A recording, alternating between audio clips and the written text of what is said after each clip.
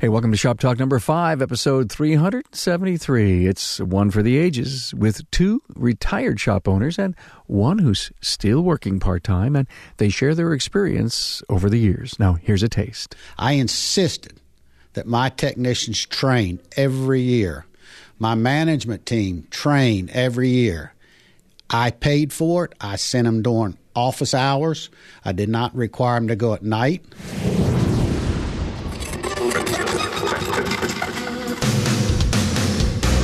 Welcome, aftermarketers, to Remarkable Results Radio. Listen to learn just one thing from today's episode on your journey to remarkable results.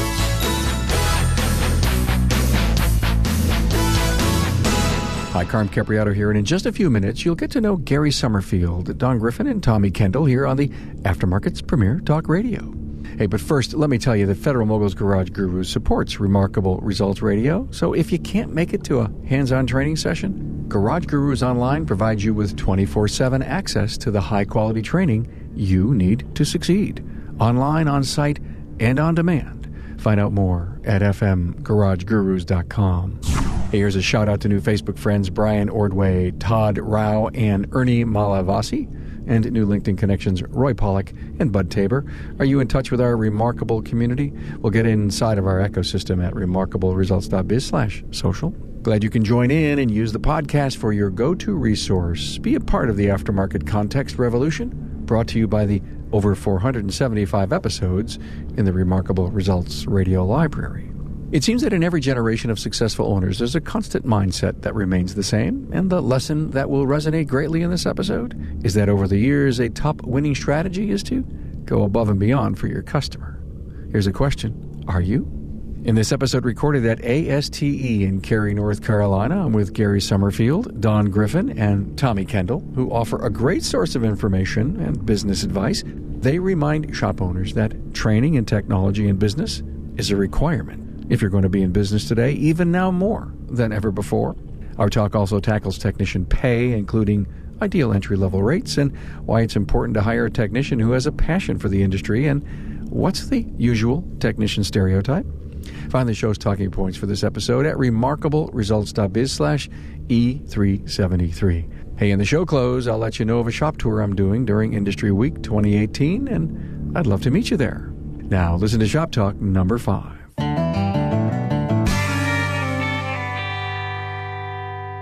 Hey, a warm welcome to three senior legacy members of the Independent Garage Owners of North Carolina. I'm here at ASTE in Cary, North Carolina. What a what a great event this has been, and um, you know, so I met Gary Summerfield. He stopped in to say hello a little while ago, and he goes, "Yeah, I'm I'm retired, sold my shop, I'm fully retired." Carm, he says, "I'm fully retired," and I said, "You know any other fully retired or almost semi-retired guys that would just love to come in and share a little wisdom with the industry?" And he goes, "Yep, I'll have it for you in two hours." So here we are.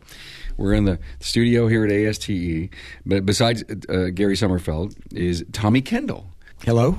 Nice to have you here. Um, semi-retired, which means you must still be working a little bit. Yeah, I'm still working uh, three days a week. Uh, I enjoy being around cars, repairing cars, and seeing people happy about their car being repaired. That's important. Uh, you, so you're, you're, managing a shop? Yes. Cool. Good for you. Uh, Gary, by the way, um, how many years did you own your shop? I first went in business for myself in 1975. I've been in the industry since the early 60s.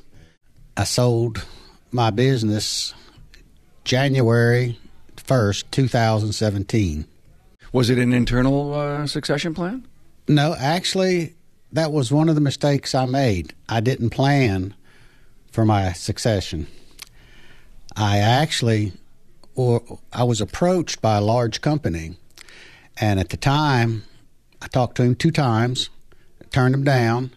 Third time he called me, I had been thinking about it, and I thought, this is my window of opportunity. Even though if I would hang on for another three to five years, I might be able to get more money. I can get X amount of dollars now. And I'm 66 years old at the time. So I thought, I'm going to go through that window before it closes. Uh, smart move, smart move. Um, thank you for sharing that. Don Griffin is also with us. Yeah, fully retired. Fully retired. Well, actually, I, I say fully, but I do do some work uh, when some of the guys still have electronic problems with their transmissions or they don't know quite what to do. So they give me a call, and I'll even go down to the shop and, and I'll help diagnose it with them. So you're a transmission specialist, and so Yeah. the guys will say, "Call Don." So I'll, I'll go down. I'll go down with him, and I'll look it over, and then we'll see. We'll come up with a with a plan on how to how to repair it. Dr. Don. I, I, you know, you actually look so distinguished. I know. Yeah, very, very good. Well, so, you know, uh, both both Don and Gary have sold their business, and, and Tommy, you're you're kind of still in it. And I, I know you've got a lot of great wisdom for us, but your regret, I think you were saying, Gary, was. Okay, uh, maybe I should have had an internal candidate, but I, but I took it and I ran because the window of opportunity trust me, I, I get it, I understand, and, and I'm sure a, a ton of other people. But any any other regrets from both of you that you know you would look back and say I could have, would have, should have done something different? I wish I would have ran my business a little bit different because I'm I'm such a hands-on guy that I had to do everything. I did electronics, I did the diagnostics work. I I rebuilt all the foreign and hard transmissions and let the other guys build the, build the easy ones because I because I just I just wanted to do them and so I stayed into that real hard. And it's hard to be a technician and an owner at the same time. So I had, I had a little bit of that was that was tough, and I, and I could tell when I, you know uh, I retired at 66. I'm 68 now. I planned it probably about six years in advance to work my way to retire because I, I knew I couldn't keep that pace up. But were you the, still the centerpiece of the business when you sold it? Oh yes, Ah, yeah. and and the, the current owners still a transmission shop. Uh, still a transmission shop. They were able to deal with the fact that Dr. Don wasn't going to be there, right. And did their business suffer because of that? Um, no, actually, uh, uh, some of my customers had called me and asked me about them, and I told them to go ahead on down there if they had any problems. You know, uh, Ah, okay, so you steered the trust factor Exactly. to the new the, the gentleman that's got it now is re- is really a nice guy. His name's Rick Allen. He's he's a really nice guy, uh, and he cares about the customers. And uh, they still call, still got the same number, even though my name's not on the building. Yeah. And they ask about me and where where am I where am I at? And he tells them I'm retired, you know, and stuff like that. And we get to talking, and, and some of them actually call me because I still have my number, and they still call me up and say, "What about Rick?" I said, "Well, go down and he'll take care of you." Are they happy for the fact that you are retired? Uh, some of them are. Some of them really want me to work on their cars. I got a phone call just the other day. One of my customers. He says, "I know you don't work on them." He said, "But I need help." I said, "Okay." He said, "I said, what's it doing?" He says, "It's making a bump. It's making a bump when you pull off." Yeah, and he's at he's at the golf course where I play golf. I said, "Okay, wh- where's the car?" He says, "It's outside." Jump in it. I hold the brake, hit the gas, boom. I said, "Open the hood." And I said, "See that right there? That's the mount. It's broke. Take it to the shop and fix it." He said, you, "You're not going to do it?" I said, "No, I'm retired. I'm not going to do it." That- that's that's so funny. I said, I said, I said, Mr. Lee, take the car down to the shop. I told him where to go. I said, "Uh, you, you need to, you need to make. I said, now if you keep letting it go, it's going to break the rest of them because it puts a lot of stress on them. Does this stuff like this pull you back in? Like it makes you regret? I, I let me let me just go put some tools together, and I want to fix it right here, right now. Actually, no. No, no. Basically, you moved on. yes. Yeah. You My- accepted what you did, tough decision, but you, you made a decision. It's something you worked your whole lives Yeah. toward. Yes. And you moved on to step two. Now, but you're here. The, the, the really cool thing here is, and, and I've seen this at uh, ATE in Seattle. So many of the retired former members and shop owners that have either sold or retired hang out, and they're there, and they're and they're with their friends, and they're just talking. I, don't know if you're talking business, you're helping people out, or you're just talking. Well, as you know, I'm still in the IGO. They made me a lifetime member, Ah, and, so and I was in the Hall of Okay. Fame last year. Congratulations. and I didn't want to get out. And I enjoy my knowledge, and I enjoy helping people. And these these guys are like my brothers. All of, all of the guys in the IGO are like my brothers. They call me, I come running because I don't because I want to help. I want to make sure that they, you know uh, if they got a problem, I want to help them fix it. Here's the big thing. Yeah. you guys are serving, continuing to serve. Mm-hmm. Your knowledge is so strong. Your wisdom is sharp still. Being able to give. When you do this for your fellow former, well, your current members, your lifetime Yeah. members, do they just thank all over you for helping them out? Oh, good Lord, yes. Uh, you know, They appreciate it. A lot of times I go down and get a free lunch. Yeah, sometimes sometimes they kind of demand it. You know, Yeah. I, I, I graduated from high school in 58, they tell me, they say, well, we, we've got to have you around to work on these older cars. Nobody else wants to work on them. There's no such thing as adjusting the idle on one nowadays. There's no such thing as adjusting the timing on one nowadays. When those cars came in, the guys don't understand how you do things like that. So they tell me, they say, uh, we need to keep you around because we've got these old cars. I've got a 58 Chevy in the shop right now that I'm working on. That was the year I graduated. And, uh, I really enjoy that sort of thing. And they say they need me. They say you can't, you can't retire because we need somebody to work on these cars. You should have seen you should have seen Tommy's face when he said the year I graduated. Yeah. He just had this big smile. So ex- as an example, guys, what have you helped somebody with recently? No, don't mention names or anything, but what if some of the guys says, "Hey, Gary, I'm working on this. You got any thoughts?" Well, a lot of times I'm just an information source for other garage owners. They'll call me and talk to me for supplies for complete units. Don built transmissions. I suggested that they go to XYZ company and purchase it simply because it was faster. They did a good job and they had a long term warranty. So different it's vendor, like what would Gary do? yeah, different vendors that I dealt with Okay. whether you know whether it was major components, minor components, just a quick source to save them time and money, and hopefully help them with their bottom line. How about business advice? Quite often, uh, I gave business advice. Sometimes it wasn't wanted, but I gave it anyway. Ah, I love, but I love this. And you gave it because you knew someone needed to get it. Am yes, right. Okay. uh, they were headed down the path of what I always said, getting into the red ink. you see that there's a struggling shop, and you you say you give advice that they didn't want. But but did you say, "Hey, Bobby, let's go have coffee"? Is that kind of how it starts? Quite often, I'm in the shop with them. Oh, and I'm pointing things out, and you know they would uh, think I was kind of degrading their operation to them, and you know Yeah. because you know they they haven't been able to kind of step out and, and realize that they need to be a student. Yes, and, and I would hope at that time when I was talking to them that would cut through all the emotional garbage, and let's just do the job. And this is what the end result will be if you just do what I tell you to do. Even though I don't own your business, have nothing to do with it, but I still want to see you successful. I'm talking with Anthony Frohine, a technical product specialist with Federal Mogul Motor Parts. What are the techs saying about your visit? every single time that I set up a training, I try to p- position the van inside the shop. You know, you're part of their house at that point. Whenever you set aside that time, you tell them that you're coming in, you're providing a lunch, and you're really bringing something of meat and value to the table.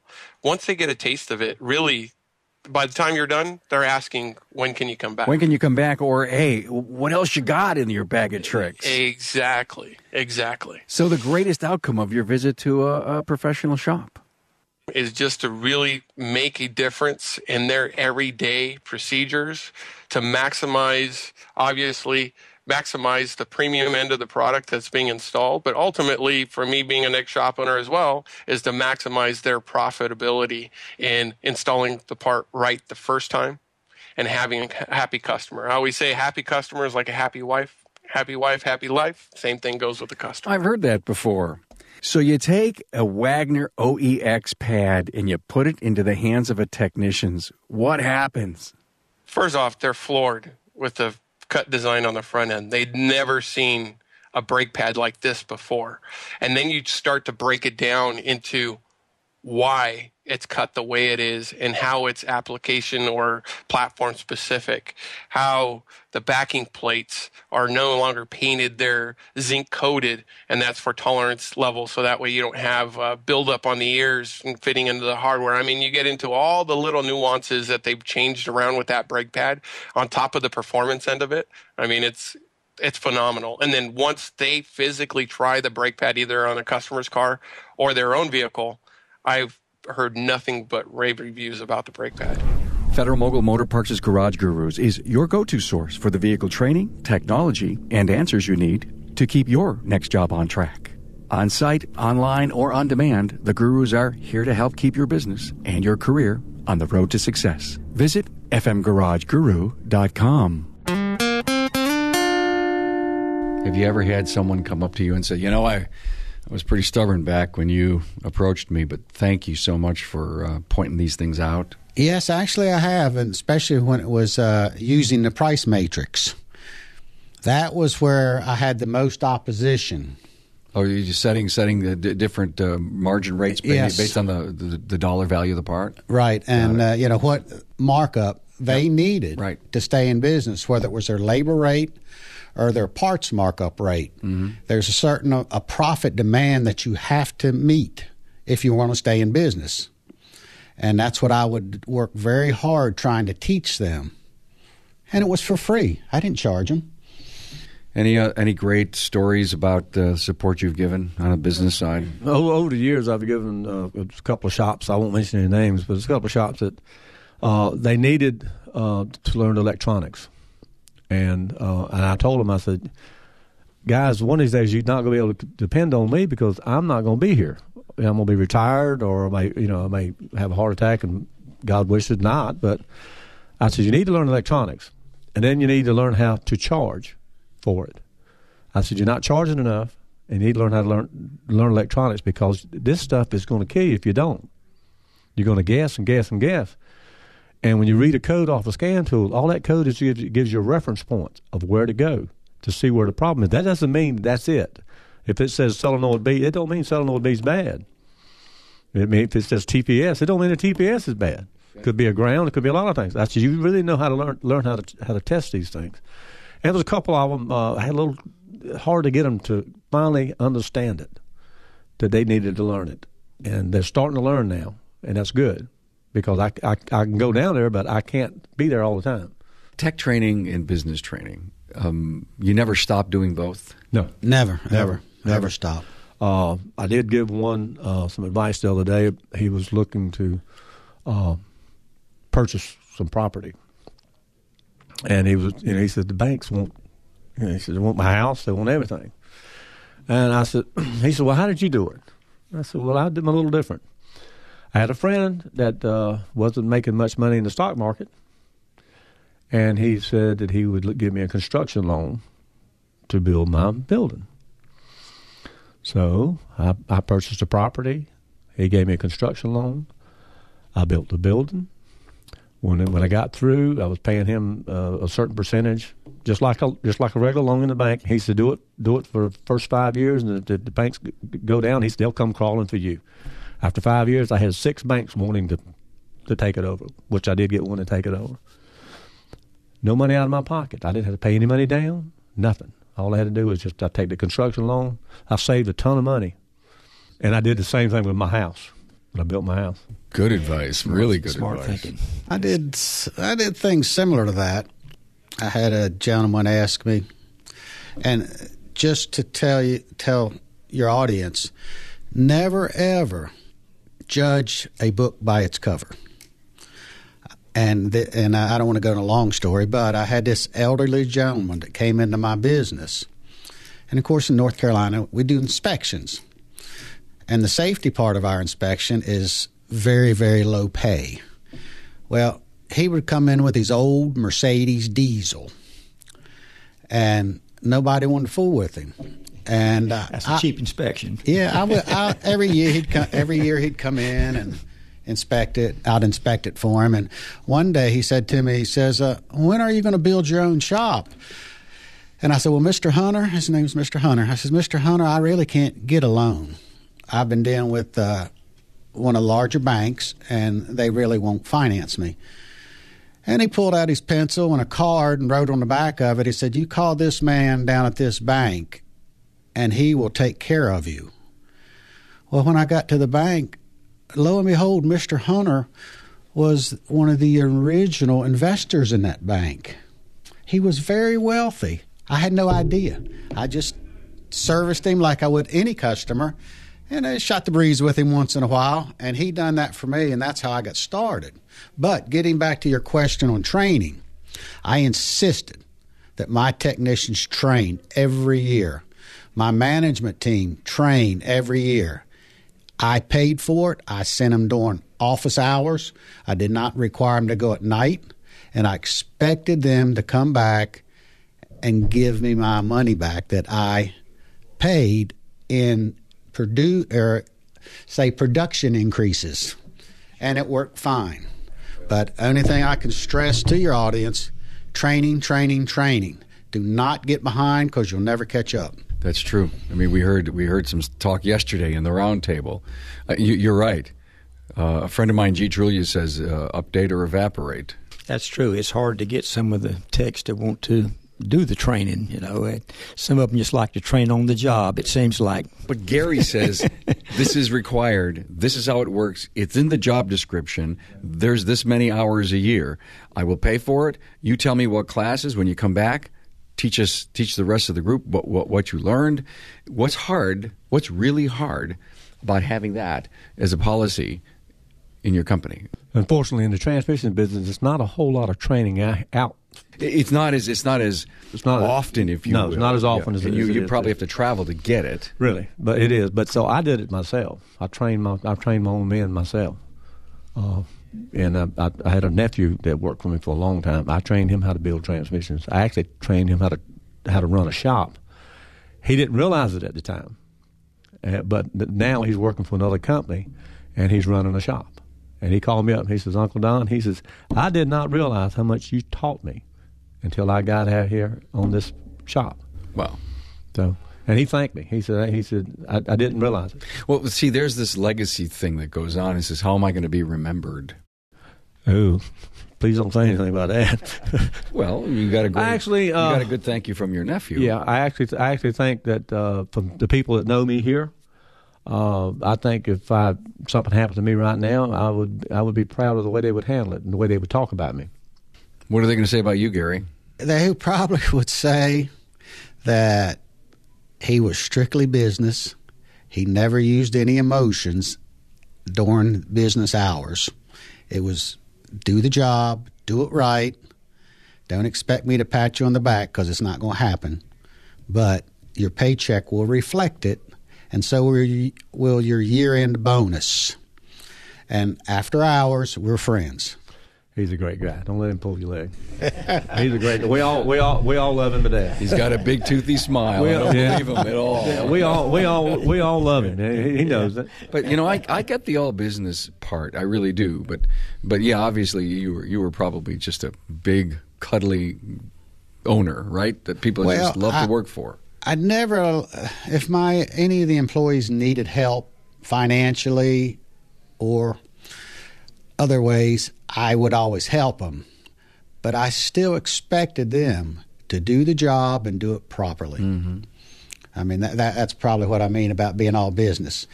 Do the job because I used to tell them, I says, what would you do for someone that made your house payment, made your car payment, bought your groceries, clothed your children, what would you do for that person? And I actually talked to every employee like this. And they'd always say, I would do anything. I said, That is your customer. I said, That's my customer and that's your customer. So do it. That's the soundbite that's right a good there. statement. Thank that's you. A good that's a good statement. Yeah, see, I, sure yeah I always told mine, I said, you know, I said, take pride in what you do. I said, and, and because let me tell you, every car that comes out of this shop, these come, some of the customers may not know you because we're doing transmission work because I get a lot of referrals from other shops. I said, but my name is on this, and it's my name only, and the person that gets chewed out if it's not right is me. So if you do, do not want me to chew you out, you do a good job, and I'll reward you for it. That's right. and so, and, and I was very direct, sometimes a little bit too too direct, but I got the point across and and when they when they worked for me, they knew they had to work. So I got it. How are they going to remember me? You said, I think they'll treat me okay. Don was very direct. Yeah. Uh, yep. And uh, all I'm going to tell you that. Gary yeah. will probably tell you. I, I am. Well, I, I, think we can sense it here in oh, just yeah. our, our, our, interview that's gone on for about 20 minutes. Tell me, how about you? What are people going to say about you? I don't know. I think they'll probably say that he tried to fix my vehicle and he tried to fix it right tried to fix it for for a fair price.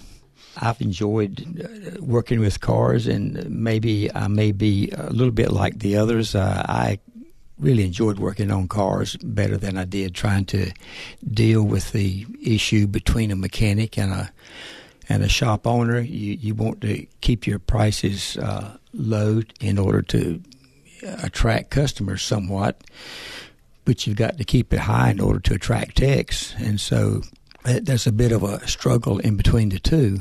But if you can turn out quality work, then uh, that kind of leans you towards the customer more. That's a perfect segue to talk about you know our techs you know earning a, a decent living, Gary. I mean, I know you're passionate about that. I am passionate about that. What should we be doing? Unfortunately, our labor rates are going to have to go up considerably, and the owners, shop owners, companies can't keep the money; they have to share it and we need to have that entry level technician. We have to stop depending on young single men or women that live with mom and daddy. We have to depend on employees that have families, that have responsibilities. And in our it's going to be our job to make sure they can survive. They can buy their groceries, they can buy their automobile, pay rent or pay mortgage, whatever. Go out to dinner, and at this point in our industry, that's not happening. Most shop owners, and I can't say 20%, 50%, or 80%, try to pay those entry level technicians the least amount they have to. And in turn, that brings us a lot of entry level technicians that won't ever be able to, to be a good technician simply because they don't have the skill. And even if you trained them, they couldn't retain the skill. We have to have the technician that understands electronics, especially in modern vehicles. They are no mechanical solenoids, maybe the starter solenoid. Everything else is controlled by a module.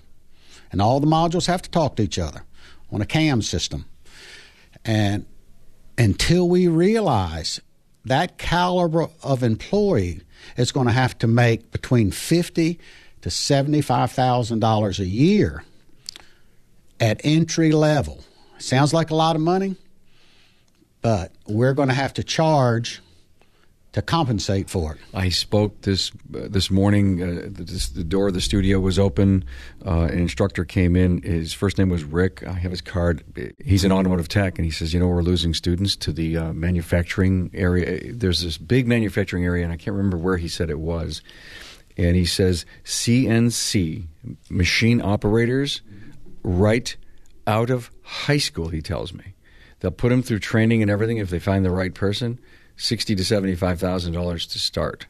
A CNC that is true manager, production guy. Yeah. I can tell you, Carm. I sat on my local county's economic development committee board, and of course, on the board, our job is to entice manufacturing to come to our county. Entry level and one of the companies that work with specialty metals, titanium, stuff like that, Entry level is $66,000 a year plus plus insurance, health insurance, $100 a month per family, the whole family. Vacation time, holiday time, uh, controlled atmosphere. They're not working in 100 degree temperatures like our technicians are. So we have to compete against them. And they are hurting for employees just as well as every other industry, whether it's plumbers, electricians, HVAC people. We cannot get enough young people in to do that type of work.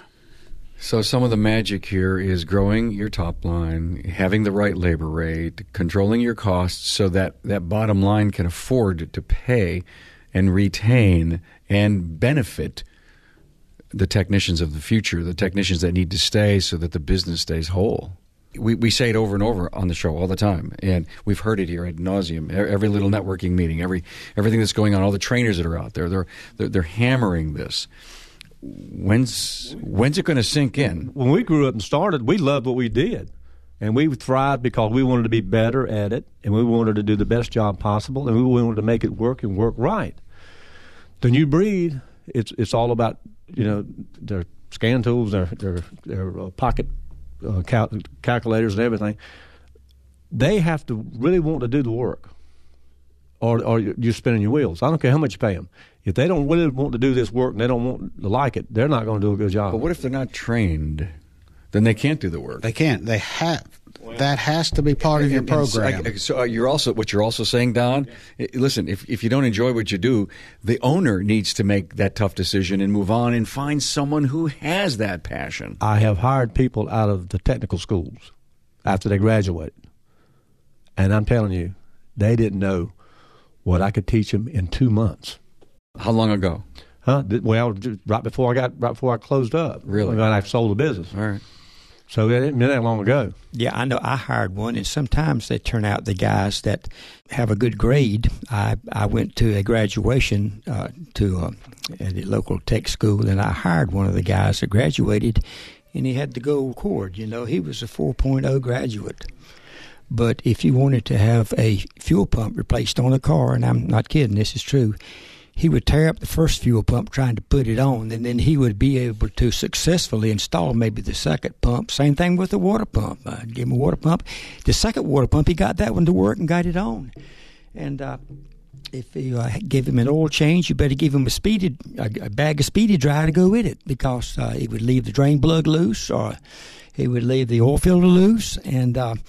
Had to had to let him go, and he just he just uh, he was a smart guy, but he couldn't do the job. But isn't we're hearing this? We're hearing that the students that are coming out of post secondary will are not as in depth to the jobs that you want to give them. But if you thought of them coming in as an apprentice, and you know not an intern anymore, but an, an apprentice, then your job is to walk them through those chairs, if you will, of knowledge and levels and training. Really outline a career path for them, while as they move forward, the money starts increasing, so they're so they can look down the road and say, "Ooh."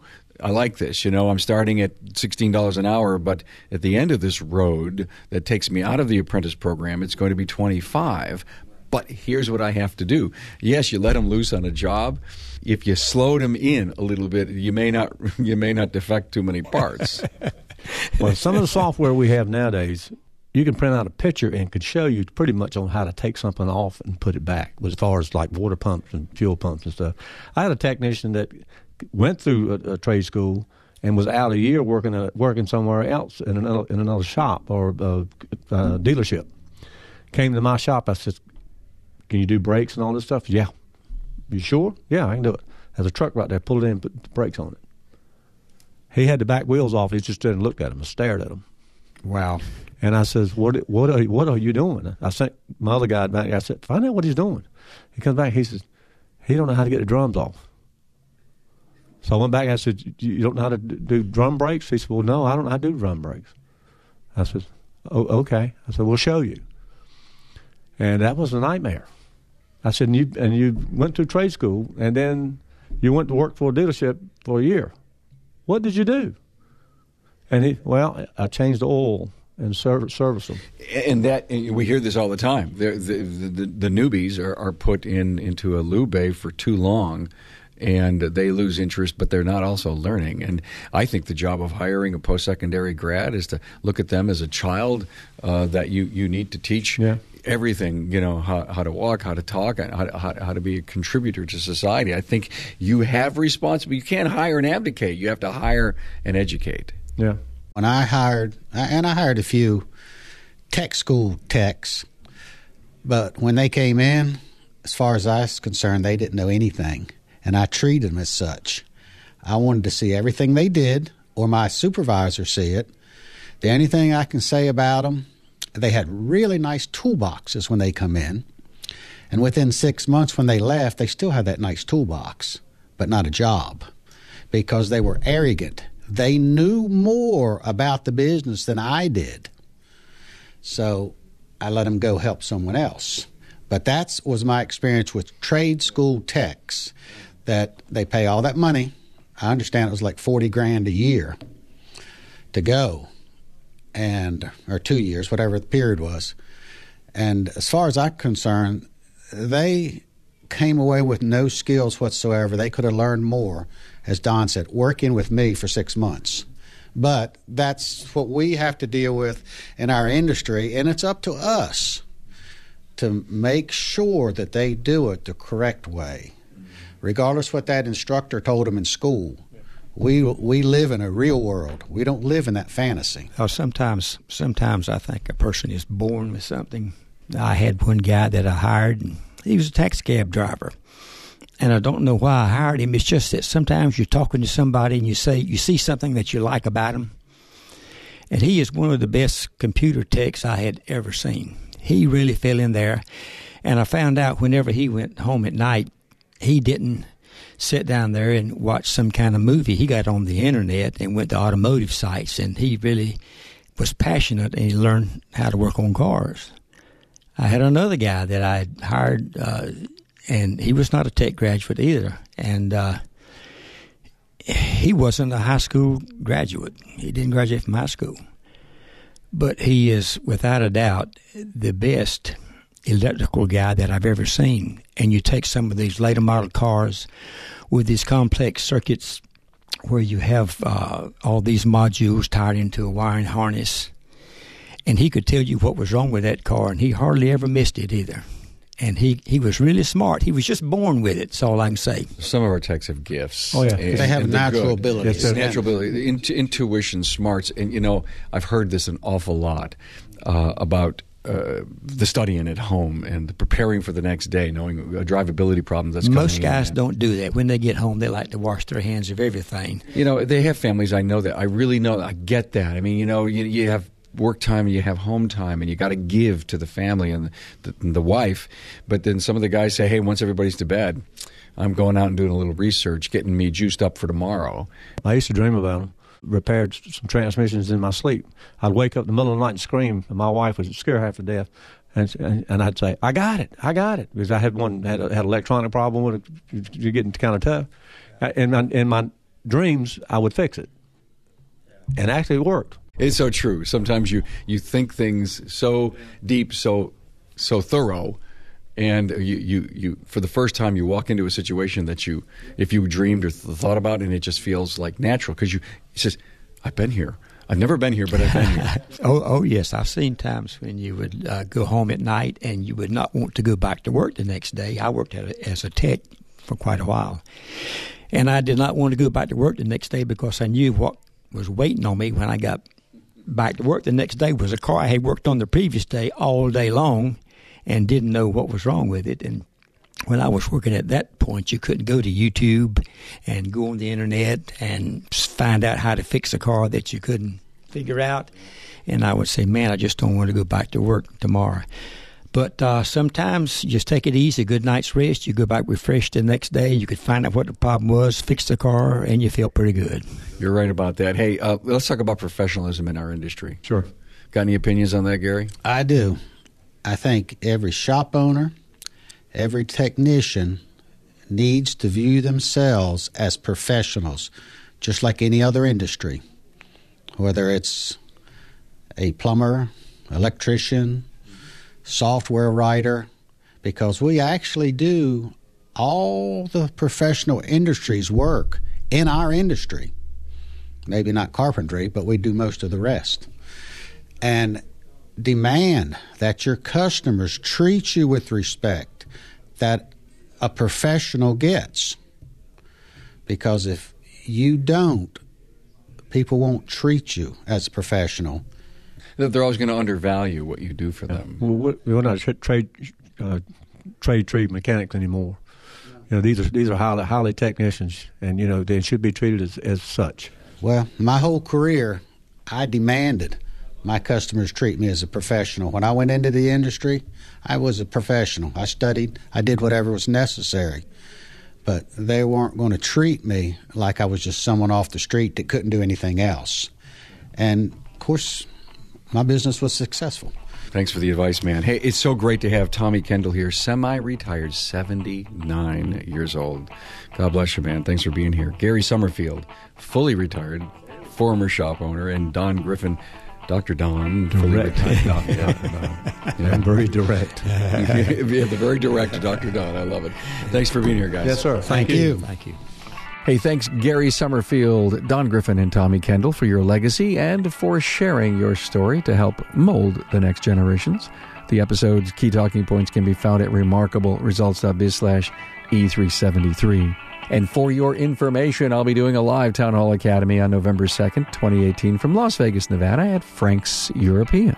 The show is about the value of shop tours, and Frank and I are inviting all who will be at Industry Week and in the area to stop by at 9 a.m. on November 2nd and get a tour and spend some time looking at Frank's business. Just Google Frank's European, and I'll see you there. Talk soon. Thanks for being on board to listen and learn from the premier automotive aftermarket podcast. Until next time.